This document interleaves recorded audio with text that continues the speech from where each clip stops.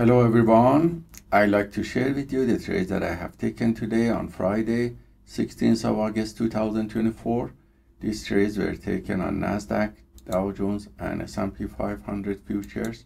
If you look at the 1 hour micro chart, we see that the price started to go up during the Asian Globex session and during the London session started to go down again after passing the previous day high and it continued to go down pre-market before the news release and after New York market opening at 9.30 it was very choppy and retested this level of support few times and eventually it started to go up and tested again the previous day close and high and got rejected and came back with some pullback. Is now in a choppy triangle pattern. So when i came around 11 o'clock the price was testing this level of support and the buyers came back and pushed the price higher and retested again so this wave of uptrend here was taken with these two candle and then waited for this one again.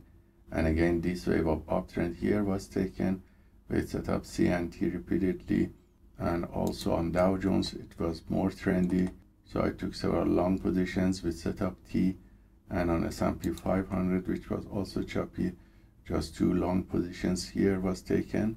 The first one was closed with loss and the second one with break even and then all these signals were copied by copy trader to multiple apex trader funding accounts. And you see here the performance of one of these accounts which was positive showing profit factor of 2.83 which is coming from 82% win rate all from the long positions taken.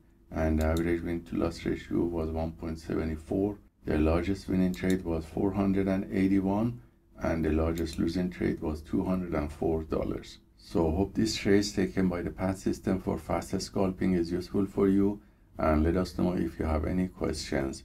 Have a wonderful day and also weekend